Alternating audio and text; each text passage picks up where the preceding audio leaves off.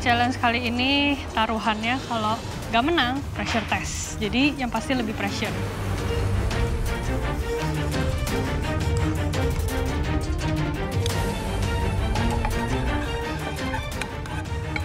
Time management jangan lupa. Iya, Chef.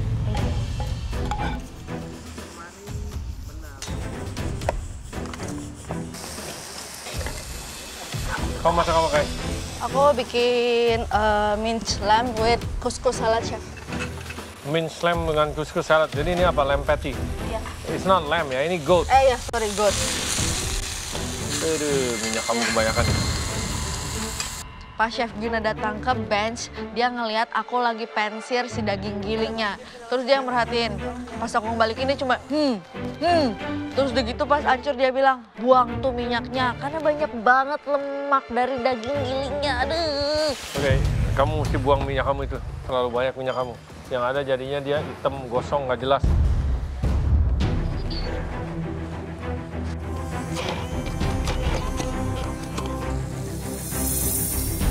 Pas aku mau pensir si daging cincangnya, itu bener-bener susah dibalikin. Begitu dibalik, hancur.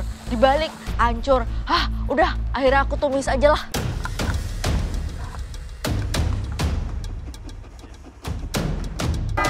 Top 3, waktu kalian tinggal 15 menit, yes? Yes, yes, Chef. Ingat, next akan ada pressure test. Apakah kalian mau masuk pressure test? No, Chef. Oke, make it delicious. Wis, jalan-jalan di galeri Master Chef. Ada keripik dong. Nggak crispy. Aku udah bikin potato chips. Terus Chef Anot lewat. Hmm, chipsnya nggak kering. Jadi aku oven.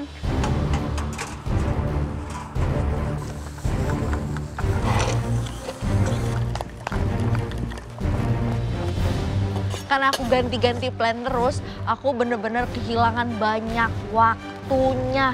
Aduh, aku takut makanan aku nggak bakalan beres pas udah 60 menit.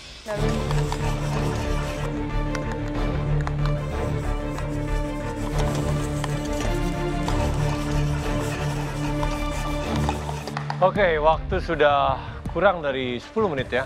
Yes. Kita bisa lihat mereka sudah mulai memegang piringnya Mhm. dan mulai plating. Yep. Terlihat, Yep. which is good. Semoga Kecuali semuanya selesai. Elin yang prestonya masih nyala. Masih nyala. Ya, dibanding Kai sama Fanny yang memilih ground meat yang Ya. sudah Yep. digiling, Yep, dia membuat buntut. buntut. Oke, Oke. waktunya nggak banyak. Kita lihat yang- harusnya mereka mulai plating ya. Yang di dalam oven kayaknya kosong. Bus. Tadi Kai pakai ground meat yang sepertinya dia niatnya mau buat seperti patty, ya. Patty. Sepertinya gagal dan menjadi ground meat. menjadi meatloaf Sekarang menjadi meatloaf. tanpa Menjadi cetakan. Kita akan lihat.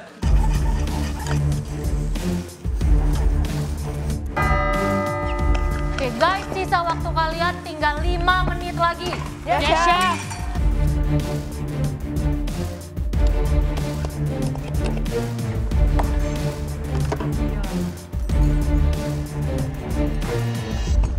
Udah waktu kurang dari tiga menit. Presto aku nggak bisa dibuka.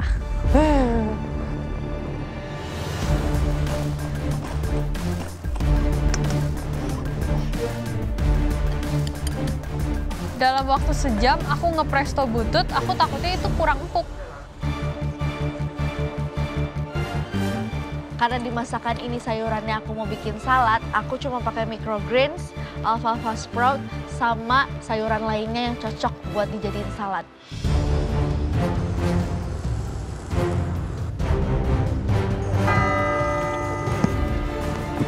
Guys, waktu kalian tinggal 30 detik, yes? Yes, Chef.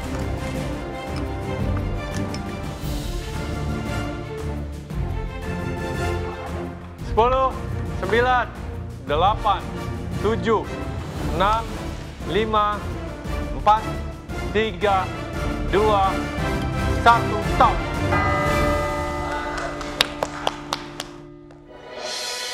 Oke, kalian sudah menyelesaikan challenge daripada kambing lokal. Terlihat cukup baik.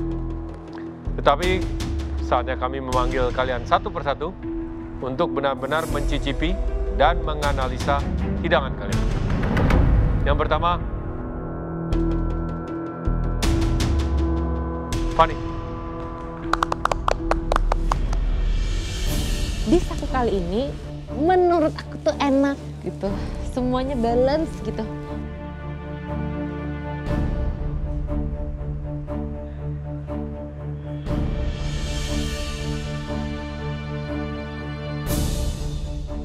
Hai Fanny. Aduh, merah-merah ada lima, buah ada lima lagi. Hmm. Tapi apakah kamu yakin juri-jurinya senang? Enggak. Apa ini? Itu got kofta, Hmm. terus ada kuskus sama chickpea salad. Goat kofta, kuskus, chickpea salad. Kuskusnya di seasoning? Ya, Pakai? ada cumin sedikit, terus salt pepper sama sugar. Ini chickpea salad. Ya, Dressingnya apa? balsamic vinegar, lime, salt pepper sama gula.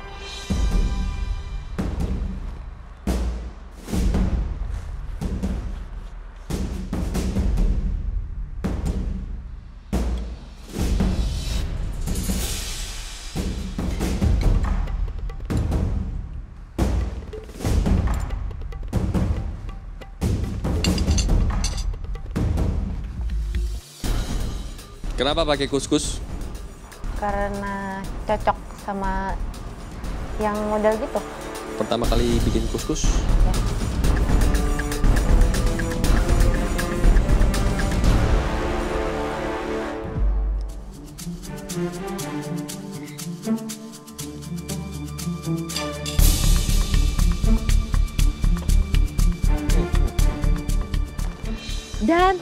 lihat ekspresi para juri waktu nyobain masakan aku, biasanya kan Renata bisa "Hmm, hmm."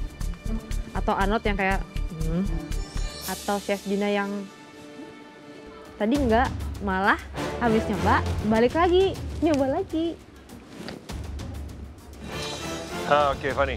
Um, saladnya is good, bagus. Acidity-nya dapat, uh, tidak terlalu uh, tangy juga. Mungkin kamu tone down dengan gula. Di sini, kalau menurut saya yang sangat kurang adalah justru di goat koftanya.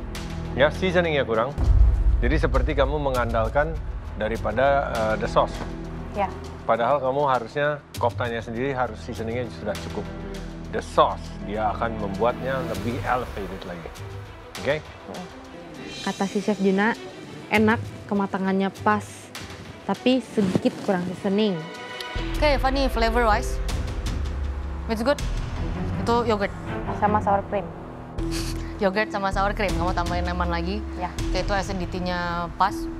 Komposisi yang bikin saya gregetan di sini. Kamu naruh yogurt yang lumayan dibutuhkan di dish ini, tapi untuk alasan plating, again seperti saus kamu, kamu bikin dot-dot seperti itu yang setelah dikumpulin jadi satu itu tidak cukup untuk mengkomplimen semua dish kamu.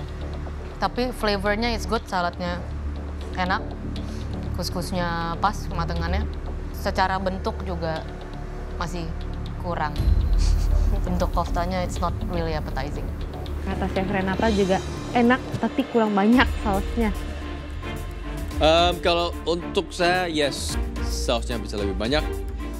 Tapi terlepas dari itu, saya sangat suka dengan hidangan ini. Kamu taruh dried apricot di dalam kofta mixernya, cuminnya kerasa, rempahnya kerasa, the yogurt better, jauh lebih bagus daripada hidangan kamu sebelumnya. Ya. Menambahkan refreshing sweetness dari uh, pomegranate, chickpea texture. Saya suka ini. Aku tuh seneng banget tadi Chef Anot bilang makan aku tuh enak chickpea saladnya enak kuskusnya enak terus si lem pastanya juga enak spice-nya kerasa herbs-nya kerasa pokoknya seneng banget dipuji sama Chef Anot Thank you, Fanny. Thank you, Chef.